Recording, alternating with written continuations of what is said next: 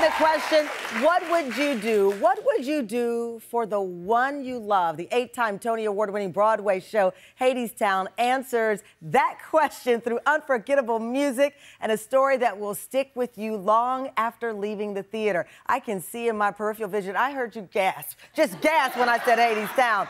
It's a Greek myth retelling of two love stories, new love between humans Orpheus and Eurydice, and a long established relationship between the god of the underworld, Hades, and the goddess of spring, Persephone. And it's now starring two musical greats. Jordan Fisher is no stranger to the Broadway stage, having starred in Hamilton, Dear Evan Hansen, and Sweeney Todd. And now he's starring as Orpheus, a young man who must rescue the love of his life from Hades' grasp. And Ani DiFranco is a Grammy winning artist with 20 albums under her belt who's making her Broadway debut as Persephone, the goddess of spring who has grown disconnected with her lover, Hades. Tam fam, gasp more. Please welcome Jordan and Ani.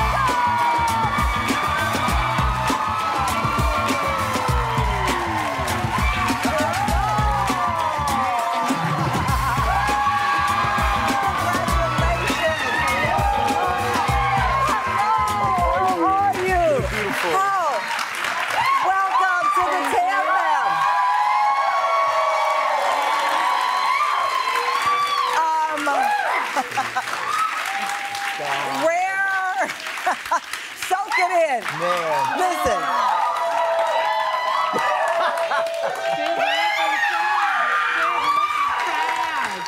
this melts my heart. I mean, five seasons in. I don't think I've heard this many gasps and a standing ovation before the performance. No. Congratulations on this. Come to the show tonight. Yeah, come, come follow tonight. Us. Swing on through. Ani, this is your Broadway debut, and what a show to participate in and be a part of. Absolutely. And it's just incredible. How does it feel? Debut. It's dizzying. Holy cow. it was just this weekend, this last weekend. It's it's amazing. I mean, yeah, the cast of this show are all just incredible human beings. The talent, the the the life, the s- sweetness, the kindness, the camaraderie, the support, the personality, the joy. It's incredible. Jordan, you've been, of course, um, several hit Broadway shows, but I read that you said this Hadestown is your favorite, and that's a, that's a hard thing to admit because they're all so wonderful. It's Why so is this your favorite? It's so special. Yeah. For so many reasons. I mean, if, if anybody has seen the show in here, I know. It turns the idea of musical theater on its head. Mm. It's we get to come out on stage as us, and we get to mm. leave. We get to finish the show as us, mm-hmm. and mm-hmm. we tell you from the rip how honest it is. Up, you know, up front. Hey, this is a sad song. Yeah. It's a sad tale, and I promise you, we're gonna be singing it again and again and again. Well, which is the thing I love it because you're already preparing people for this road. You're Right. we're going to the depths mm-hmm. of hell. Mm-hmm. we're mm-hmm. and we're coming out illuminated. This show is is really about what would you do, and at the arc and the heart of it, it is what you do for love. I think that there's so much power in the pen. Yeah. In the same way that you know what we put out, we do get back. But I think that the power in the pen is the is the essence of the show. It's a songwriter's show.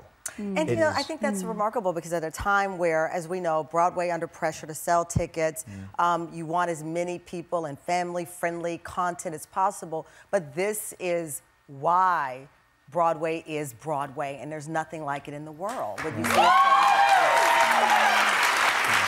It's so special. It really is. Because you can go, you can go to any theater in New York and have a beautiful time, have an amazing experience, and see this proscenium or in the round thing, a kind of composer that you know and love already.